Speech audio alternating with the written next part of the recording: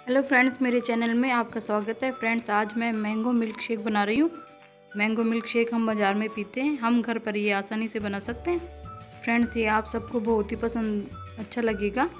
अगर आपको मेरी रेसिपी अच्छी लगे तो आप मेरे चैनल को सब्सक्राइब ज़रूर कर लें और लाइक कमेंट करें।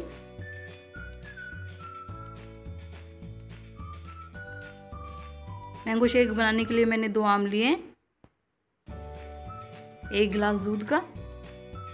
एक कटोरी चीनी, थोड़ी सी बर्फ़, और मैंने काजू और किशमिश लिया है, इसको मैंने घंटे भर पहले भिगो दिया है, ये अच्छे से भीग गए हैं। सबसे पहले हम आम का छिलका उतार देंगे।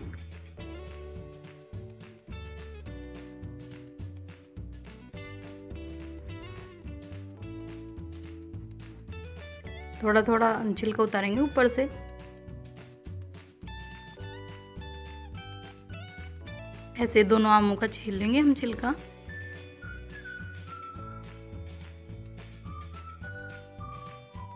हमने दोनों आमों को छील लिया है। अब हम छोटे पीस में कट कर लेंगे इसको।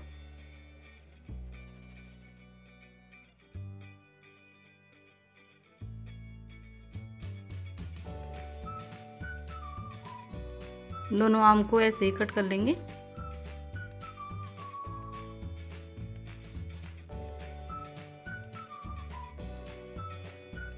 हमने दोनों आमों को कट कर लिया है। अब हम मिक्सी के जार में डालकर पीस लेंगे इसको।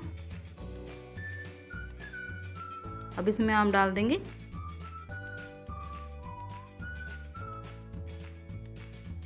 चीनी डाल देंगे। दूध डाल देंगे।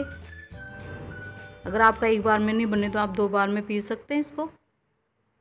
अब हमने काजू भिगो के रखे थे वो वो भी डाल देंगे इसमें। अब इसको पीस लेंगे हम।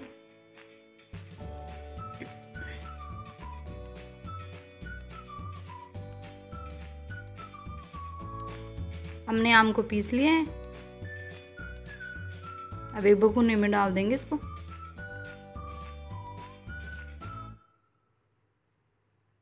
ये थोड़ा टाइट है तो हम इसमें थोड़ा सा पानी डाल देंगे।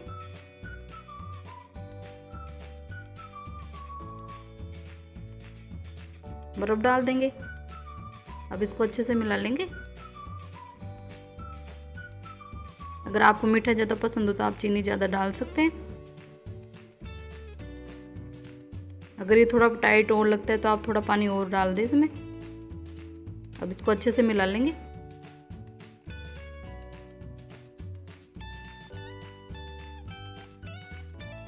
अब दो मिनट के लिए ऐसे रख देंगे ताकि ठंडा हो जाए।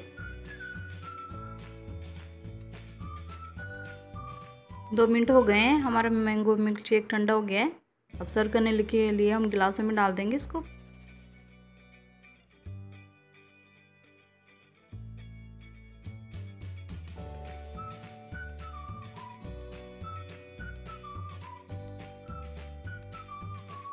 हमारा मैंगो मिल्क शेक पीने के लिए तैयार है। आप बच्चों, बड़ों के लिए, सबके लिए बनाकर ज़रूर देखें इसको।